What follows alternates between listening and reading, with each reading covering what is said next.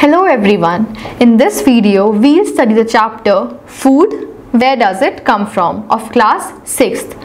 I feel a little hungry now. Now if I'm hungry, what am I supposed to do? I'm going to eat food. So with this we know that food is something which we eat when we are hungry. Obviously when you are hungry, when I am hungry or when anyone else is hungry, the first thought or the first image which comes to our mind is of food. Now food gives us many things. All the energy we have, the way I'm talking to you, the way I'm teaching you, the energy I'm consuming, all of that I got it from the food I ate. So obviously I ate the food in a raw form like I ate it in different varieties. I ate bread in the morning and then I ate rice in the afternoon. But the rice and the chapatis got converted into energy which I'm using right now. So in the similar way all of us eat food to get energy. So now the chapter food where does it come from will tell us what is food, what are the components of food, what are the varieties of food and what all we need to know about food because it is the most important thing we need to have. So let us have a look at the chapter now. Friends, look at the food. What did you notice? There are several food items and each of them is made up of more than one ingredient. For example, Chapatis are made from the dough of wheat flour and similarly dal is made up of pulses, salt and other spices. Food materials and their sources. As we have already discussed that we require food to get energy and to kill hunger. We can also define food as any nourishing substance that is required by the body for energy, nourishment and growth where food comes from. After a hectic day, Anuj has come for dinner. Let's check out the dishes. Wow! Rice and chicken curry. Friends, can you think of the sources of these food items? Let me tell you that the food items such as plant and animal products can be classified on the basis of their sources. First, let's have a look at the animal product such as egg fish and meat. We get all these food items from animals.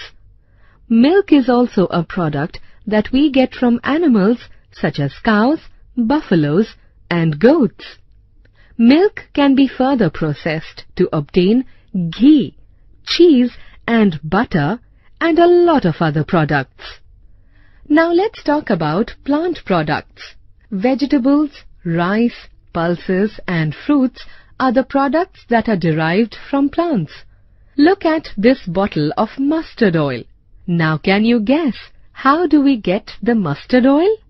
Well, we get mustard oil from the seeds of mustard plant. So next time when you sit for dinner, spare some time to think about the source of those food items. Plant parts as food. As we know that the food which is derived from plants are called plant products, but do you know that which part of the plant do we eat? Let us study which part of the plant is eaten as the food item.